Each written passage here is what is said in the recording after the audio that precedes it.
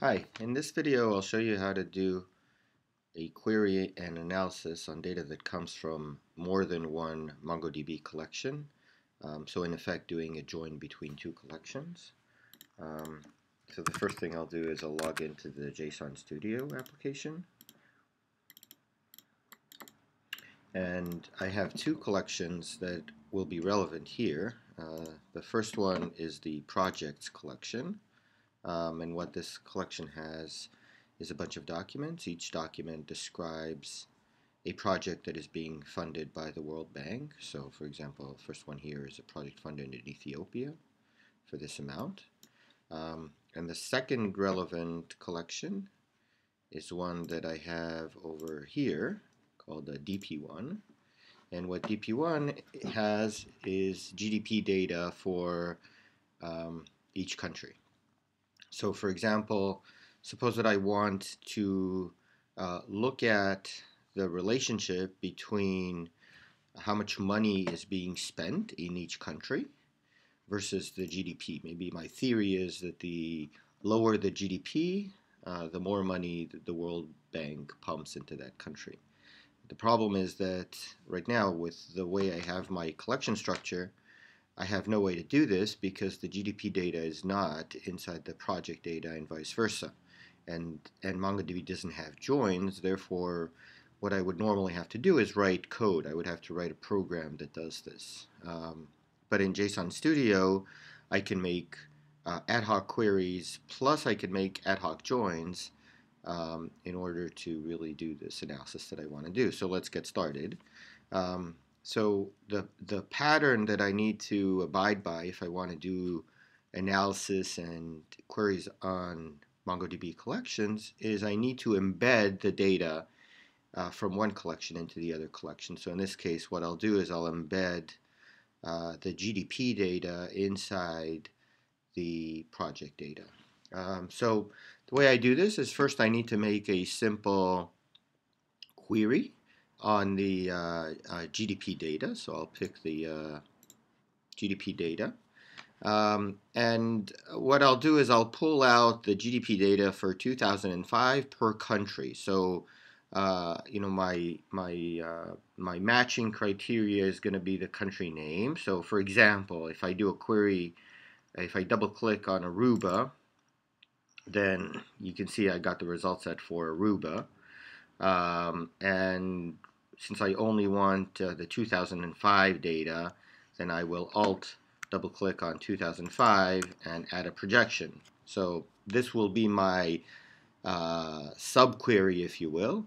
Uh, but I don't want to run it every time on Aruba. I want to run it every time on the country in the projects collection. So I will parameterize this and I'll write it as country.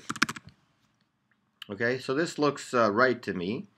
Uh, so I'll go ahead and save this query and let's call it uh, query 1. Okay, and now what I want to do is I want to go to my other uh, collection. So I will pick the projects collection and look at it. Um, and what I have here is all, all kinds of uh, data about the project for each country. And what I really would like to have is another field inside here which will have the GDP data. Okay, so what I will do is I will uh, click, you see the join radio? I'll, I'll click join, and the join field for me is going to be the country short name. So I will uh, alt double click on country short name, and then um, it gives me a bunch of, uh, it gives me a template which I need to fill in. So uh, say that my join field name will be uh, GDP, GDP. The collection from which I'm extracting the data is going to be DP1. And the saved query name which I used was query1. And the bind variable that I used was called country, right? Yeah. And so I think I'm done. Um, now, what it gives me is the data without the GDP here at the bottom because the I, will have to go through the gateway to actually perform the join. So I will save it as query 2, save the query as query 2. And now in order to invoke the, um, the, the, the actual join and test it, I'll use the gateway. So I will, so the collection that I'm doing is, is project, that's correct. And the name is called query2. So I'll take that here. And let's see if the rest is fine. I want to find, I want to print print it. Yeah, okay, so let me uh, run it. And now what I get is I get a collection or I get a, a, a result set. And if you look at it, all of this section is what came from the projects collection. But you see each document now includes some GDP data. And that's exactly what I wanted, right? I have the 2005 data for each country in the collection. But this is a, a result set, so now let me save it as a new collection. So say that I will I'll add another parameter to the gateway and I'll call it output equals collection dot analysis one analysis one there we go and I'll run it and it says inserted project uh, inserted objects so now let me go back to my uh, studio and I called it analysis one so it should be somewhere here here it is and then we look at this collection, that's exactly the collection that I wanted, right? Each document now has the project data plus the GDP data. So I have done my join and I've created a new collection in my MongoDB database. And now I can go and do analysis on it. So now I'll go to the next application in the system, which is the slice and dice application. And what I want to do is uh, pick my collection. So in this case, it's analysis one. And I'll create a new pipeline, right?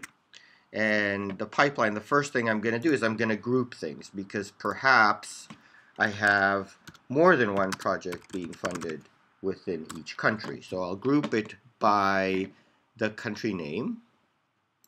Okay. I'll add a count because I want to know how many projects. I will um, summarize the total amount of money spent. So I'll do a sum on total amount, so double click the total amount. And then I also need the GDP data, but the GDP data, since it's static reference data, uh, even though it, it, exists in every project, it'll be the same. So it actually doesn't matter if I use a min, max, or average. It doesn't really matter.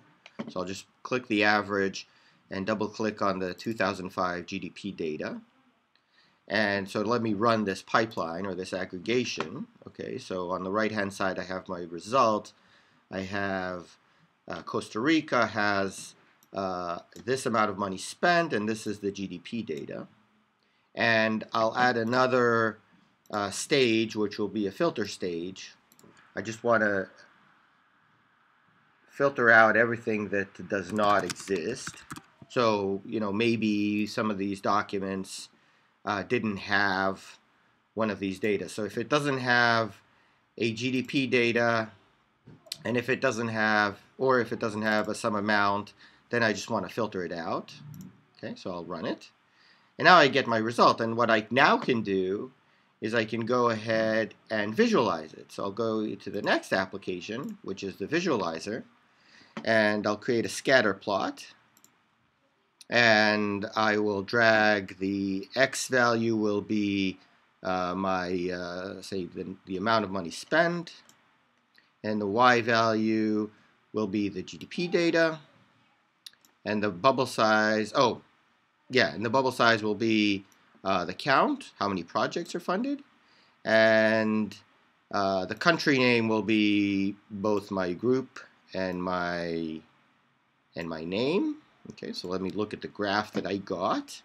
So this is a scatter plot. Each point on it represents a certain country. So if I click on this, this is China. So I see the GDP per capita and the amount of money spent by the World Bank.